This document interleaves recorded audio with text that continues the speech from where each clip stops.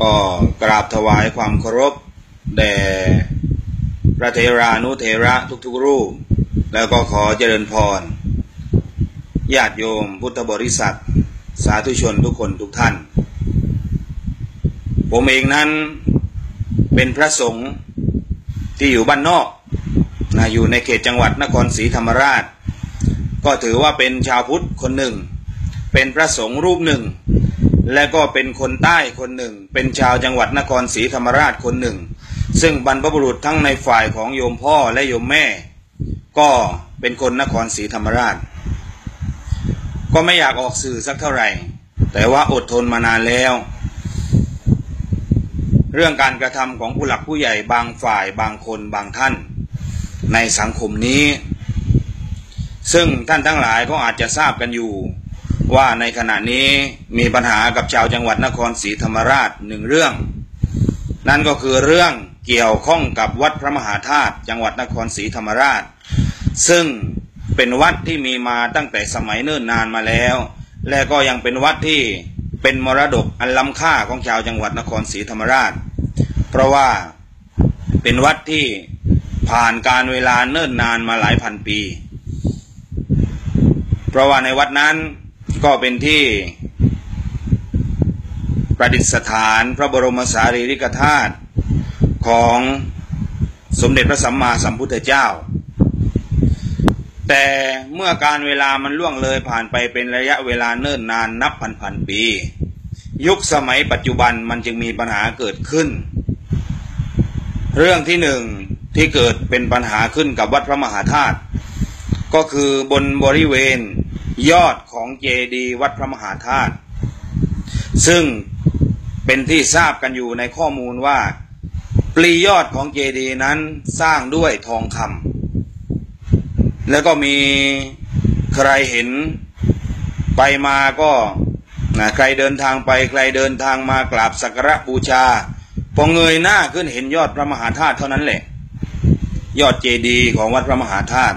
ก็ทำให้เป็นที่พึ่งที่ระลึกเป็นเครื่องยึดเหนี่ยวจิตใจ เงยมองไปเห็นยอดเจดีย์วัดพระมหาธาตุเมื่อไรแล้วปราบปลื้มปิติยินดีใจ ด้วยนึกถึงว่าบรรพบุรุษคนในสมัยก่อนนี่ช่างคิดช่างสร้างช่างทำทำให้เป็นเครื่องระลึกมาจนถึงคนยุคสมัยปัจจุบัน แต่พอมาสมัยนี้ทางกรมศิลปากรก็ได้มีการดำเนินการบูรณะ เมื่อบูรณะเสร็จแล้วปรากฏว่าหลังจากการบูรณะเจดีวัดพระมหาธาตุก็ทำให้บริเวณยอดเจดีของวัดพระมหาธาตุเกิดเป็นสนิมเกระกรังขึ้น ดังที่มีการเผยแพร่ทางโซเชียลเน็ตเวิร์กนั่นก็คือในระบบ Facebook ก็ดี หรือว่าในระบบของไลน์ก็ดีก็มีการแชร์ มีการเผยแพร่กันอยู่มากมายพอสมควร ก็มีการแสดงความคิดเห็นอะไรต่อมีอะไรต่างๆ นานามากมาย นี่ในเรื่องหนึ่งที่ทางกรมศิลปากรยังไม่แก้ไขอะไรทั้งสิ้น ก็ได้แต่บอกว่ากำลังหาเหตุผลว่าขึ้นสนิมได้อย่างไรกำลังรอเวลาในการที่จะบูรณะในการที่จะซ่อมแซมในการที่จะแก้ไข ทีนี้เรื่องสนิมบนยอดเจดีย์วัดพระมหาธาตุยังไม่ทันแก้ไขอะไร ตอนนี้ก็มีการก่อสร้างศูนย์จำหน่ายของที่ระลึก ซึ่งในศูนย์จำหน่ายของที่ระลึกนี้ก็ไว้สำหรับนักท่องเที่ยว ที่เดินทางมากราบไหว้ที่เดินทางมาสักการะ พระบรมสารีริกธาตุที่เจดีย์วัดพระมหาธาตุเมื่อเดินทางกลับก่อนที่เดินทางกลับก็จะได้ไป พูดเป็นภาษาสมัยในลักษณะคล้าย ๆ กับว่าช้อปปิ้งก็คือไปเดินดูสิ่งต่างๆ ที่จะสามารถซื้อเพื่อนำไปฝากคนที่บ้านได้ หรือว่านำไปเป็นของที่ระลึกไว้ว่าครั้งหนึ่งนะได้เคยเดินทางมากราบสักการะนะพระบรมสารีริกธาตุที่วัดพระมหาธาตุจังหวัดนครศรีธรรมราช ซึ่งการสร้างศูนย์จำหน่ายของที่ระลึกนั้น ผู้รู้หลาย ๆ ท่านก็พยายามสืบเสาะแสวงหาค้นคว้าข้อมูล ปรากฏว่า แบรนด์ที่ใช้สร้างศูนย์จำหน่ายสินค้านั้น เป็นแปลนเดียวกันกับการสร้างมัสยิดก็ดี หรือเป็นแปลนเดียวกันกับการสร้างโรงเรียนปอเนาะซึ่งเป็นศิลปะในทางศาสนาอิสลาม ซึ่งขัด ต่อการสร้างในวัดวาอาราม เพราะวัดวาอารามเนี่ยถือว่าเป็นวัดของพระพุทธศาสนา ควรที่จะนำศิลปะในสมัยต่างๆ ซึ่งเป็นพุทธศิลป์มาสร้างเอาไว้เพื่อที่จะให้ความรู้แก่คนรุ่นหลังด้วย และก็เพื่อที่จะเป็น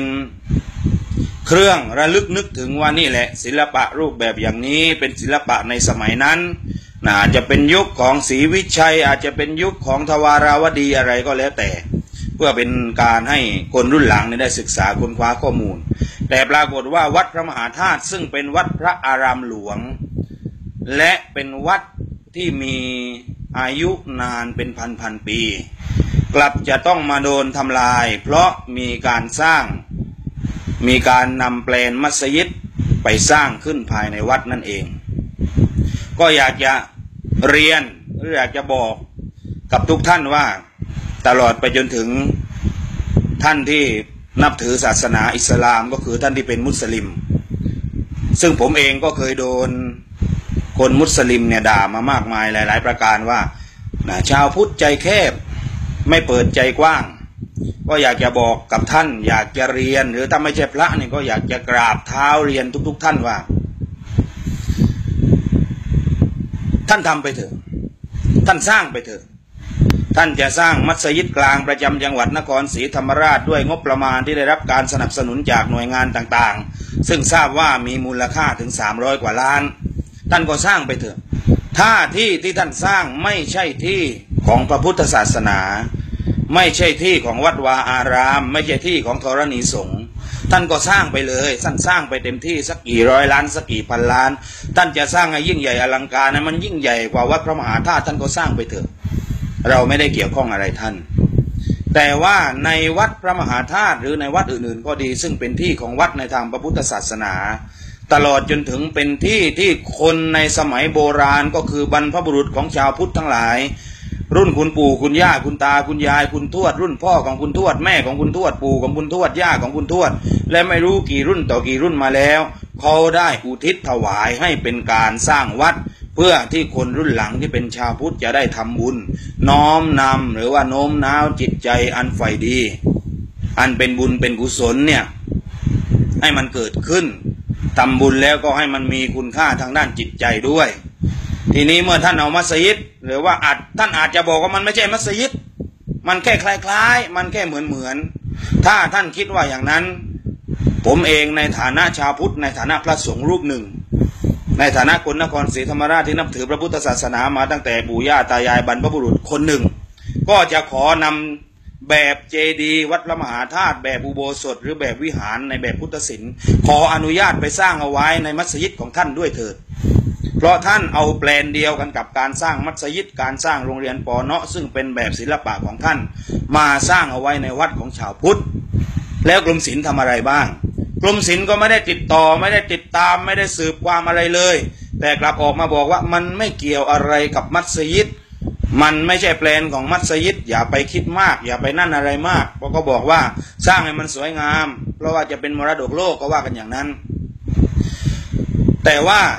ไม่ว่าท่านจะพูดอย่างไรว่ามันไม่เกี่ยวข้องกับมัสยิด หรือท่านจะพูดอย่างไรว่ามันอาจจะไม่ใช่ มันอาจจะไม่คล้าย มันอาจจะไม่เหมือน แต่เมื่อภาพที่ชาวพุทธทั้งหลายผ่านไปผ่านมาแล้วเห็นเนี่ยมันก็ยังประจักษ์อยู่ว่ามันคือมัสยิดดีๆ นี่เอง เพราะเห็นแต่อาคารในลักษณะอย่างนั้นเนี่ยมันมีอยู่แต่ในมัสยิดมันมีอยู่แต่ใน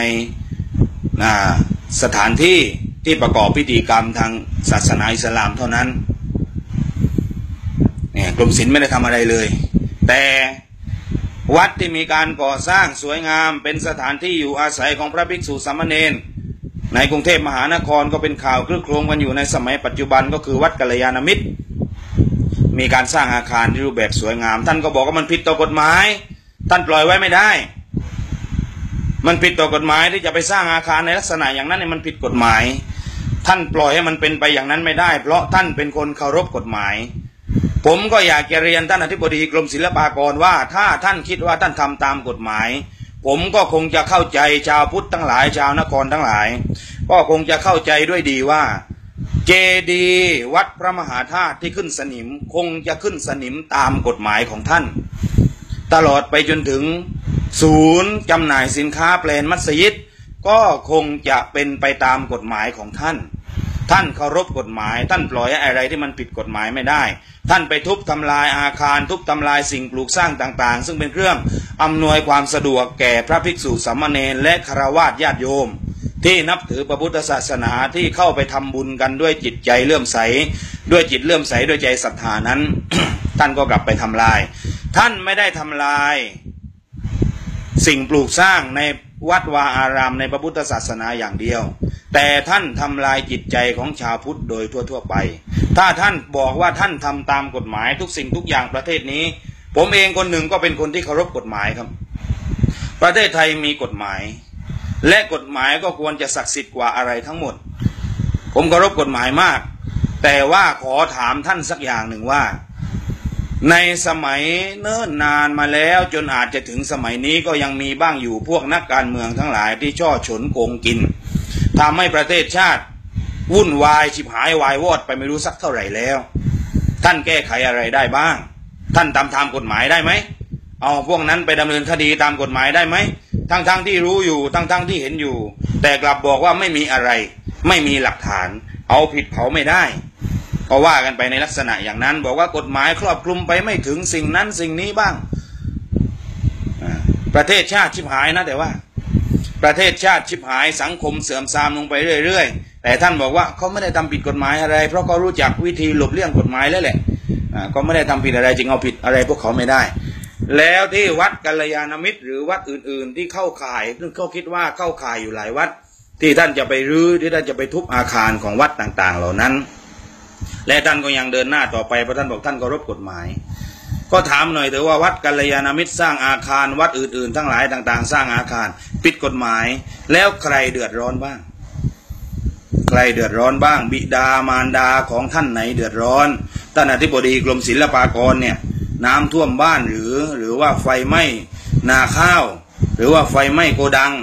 พายุเข้าเกิดโรคร้ายเกิดภัยพิบัติภัยทางธรรมชาติ อะไรบ้างที่มันเป็นการก่อความฉิบหายให้มันเกิดขึ้นในสังคม